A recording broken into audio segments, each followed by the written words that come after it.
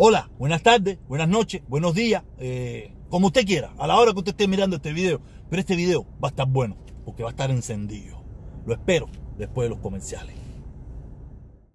Ante todo, le pido que se suscriba a este canal, aquí, Protestón Cubano, y active la campanita para que le lleguen todas las notificaciones.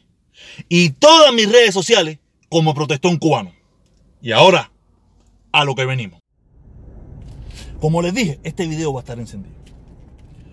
En el día de hoy aquí en la ciudad de Miami vino Bolton, un político de estos norteamericanos, que en el día de hoy, que se celebra, se conmemora un año más, el 58, 59 aniversario del, de lo que fue para, en Cuba Playa Girón, aquí Bahía de Cochino, tú sabes, la traición esa del gobierno norteamericano que no apoyó en, como debería haber apoyado a la Brigada 2506 y como todos sabemos después fueron cambiados por compota, tú sabes. Eh, vino Bolton aquí a, a implementar nuevas, nuevas medidas para aficiar al pueblo de Cuba. Específico, aficiar, ahogar al pueblo de Cuba, no al gobierno. Gobierno, todos sabemos, que se cagan en eso. Y hay mucha gente, muchos cubanos, yo veo muchos cubanos riéndose, divirtiéndose en las redes sociales, contentos y felices. Yo le quiero aclarar algo y decir algo. ¿Cuál es el único objetivo de estas medidas?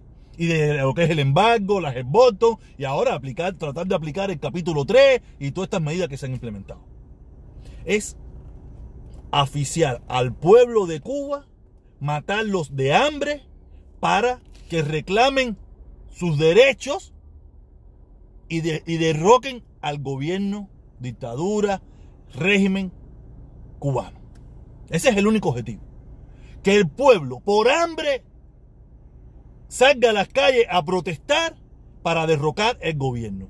Eso es lo que quieren estos pendejos de aquí de Miami. Estos pendejos que se fueron huyendo de Cuba, que no fueron, que ni muchos de ellos, el 99.9 de ellos, jamás ha virado a combatir nada en Cuba. Lo único que ha ido es a coger jevitas y jevitos y a, y a vacilar y a guarachar. ¿Sabes? Ese es el único objetivo de esta gente. Que maten.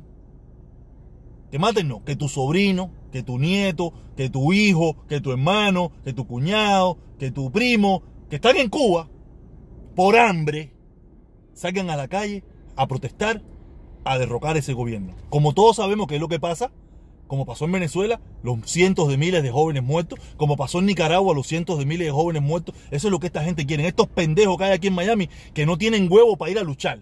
Que lo único que están esperando es que otro les salve el pellejo. Porque hablan mucha mierda aquí en Miami, pero no tienen los huevos para ir allá a combatir. Porque aquí hay armas, aquí hay barco, aquí hay de todo. Pero lo que quieren es que, que esos cubanos que ellos critican por pendejos, hagan el trabajo que le tocaría a ellos, a muchos de ellos, aunque muchos de ellos están viejos, ya están, muchos se murieron, pero todavía hay un relevo que piensa como ellos, que no tiene los huevos. Aquí habla mucha mierda, aquí son muy guapos, aquí son muy patriotas, aquí dicen mucho, pero no tienen el valor ni los huevitos para a Cuba a invadir, a, derrocar esa dictadura. Ellos lo que celebran es que el pueblo cubano lo aprieten, al pueblo específico, al pueblo cubano lo aprieten de tal manera de que salga a rebelarse. Y como todos sabemos que las dictaduras no se dejan quitar el poder tan fácil, quiere decir que ahí va, el muerto va a estar a botones, porque saben no se van a rendir, porque ellos saben rendirse lo que le costaría. Y esta gente, después de llegar allá y a creerse ser los americanos, los cubanos americanos, a querer imponer la mierda que han impuesto aquí en Miami, porque aquí todos sabemos la mierda de ciudad que es la ciudad de Miami, la corrupción, el descaro, el robo, eh, que, es Miami. No sé si, porque si el, el ejemplo que queremos poner en Cuba es Miami, Miami es una porquería. Una porquería. Que fuimos nosotros la que la jodimos, también. Pero eso sí, eso es lo que. Aparte, por eso fue que se jodió lo que había antes, lo que vino después y lo que hay aquí en Miami. Tú sabes, porque eso es lo único que esta gente que tú los ves celebrando y festejando y muy contento, viva Tron, eso, lo que quieren es eso.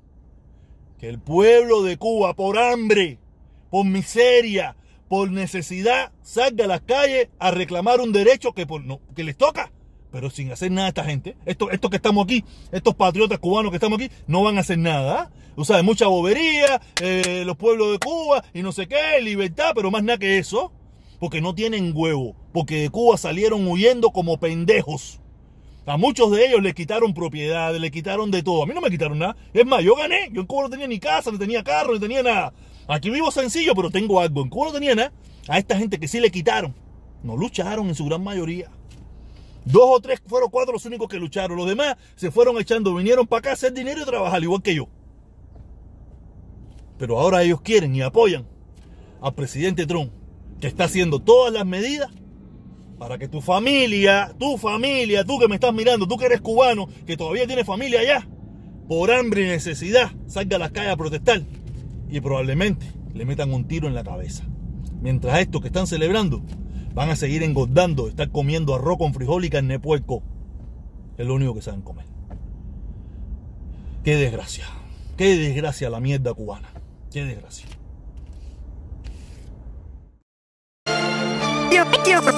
Siempre digo lo que pienso. Siempre digo lo que pienso.